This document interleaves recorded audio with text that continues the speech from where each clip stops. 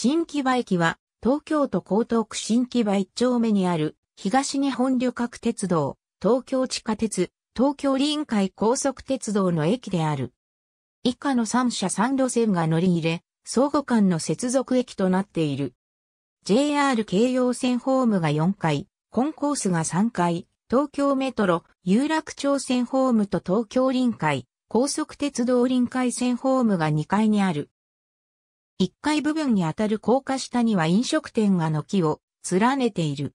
3社とも1箇所のコンコースを共用しており、改札もそれぞれが隣接している。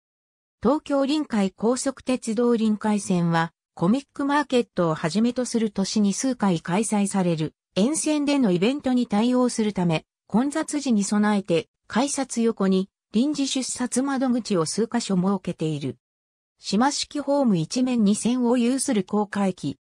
改札街とホームを連絡する階段は当初は2箇所あったが、朝のラッシュ時には不足気味で改札を抜けるまでに時間がかかることもある。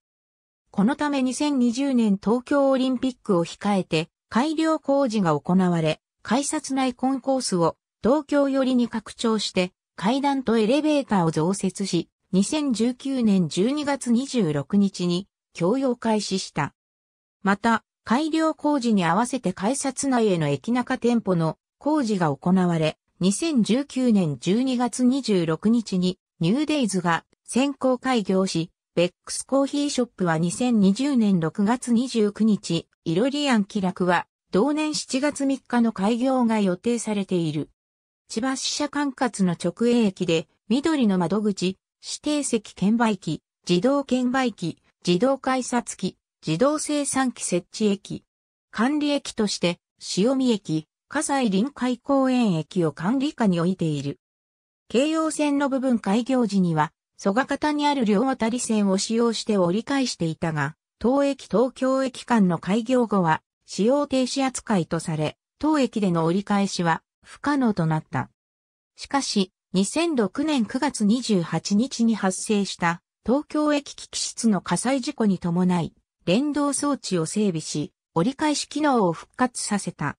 以後は異常事態応用として常時使用可能な状態を維持している。蘇我寄りには臨海線との連絡線がある。全線開業前は70から000系電車が検査などのために京葉電車区や蘇我経由で大井工場へ自力改装していたり、団体臨時列車が運行されたこともあるが、定期列車が運行されたことは一度もない。これについては、臨海線との関係も参照のこと。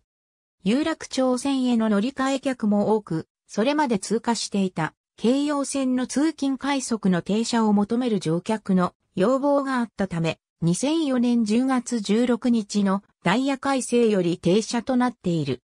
なお、特急列車が定期的に停車したことはないが、金曜夜のさざ波と土曜、休日の我が使用を中心に期間を限定して、当駅に臨時停車した実績がある。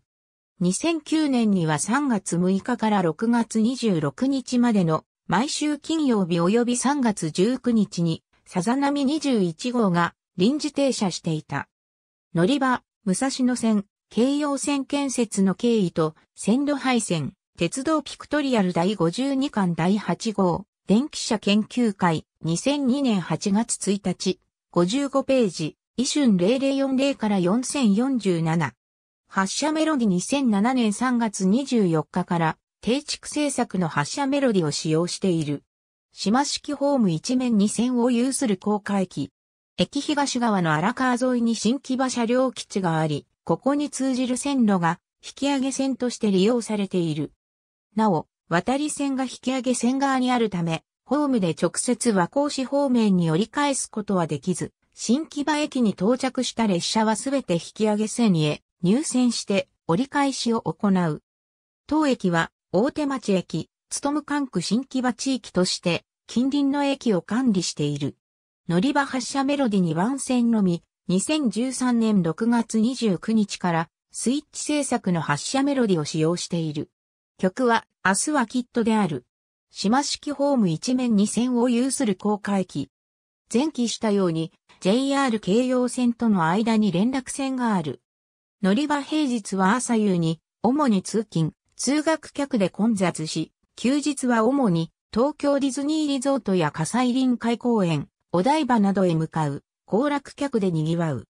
また、幕張メッセや東京ビッグサイトでのイベント開催時にも混雑することがあり、日によって乗降人員に変動がある。各年度の1日平均乗降人員数は下表の通り。各年度の1日平均乗車人員は下表の通り。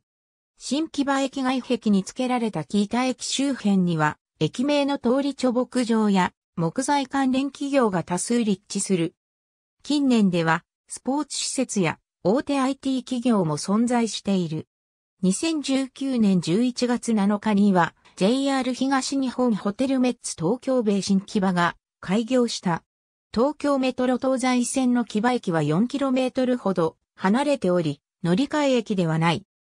周辺には、塩浜に JR バス関東東京支店があり、当駅からお台場、火災臨海公園、東京ディズニーリゾート、幕張メッセ、千葉マリンスタジアムなどへのアクセスが主便なため、2000年代に入ってから JR バス系の高速バス路線が東京駅発着の路線を延長するなどして当駅に乗り入れている。また2017年に新木場駅付近にウィラー、エクスプレス、東京営業所が設置され、同社の高速バスにも新木場駅発着便が設定されている。各路線とも、当駅発は乗車のみ、当駅には降車のみの取り扱いとなる。行き先、経路は、当該記事を参照。上記のほか、ウィラーエクスプレスが上り便の未当駅に到着する。下り便は、東京駅始発。また、成田空港から浅草、錦糸町、豊洲エリアへの東京空港交通のリムジンバスが、当駅にて2便のみ降車可能。注釈出展報道発表資料新聞記事。ありがとうございます。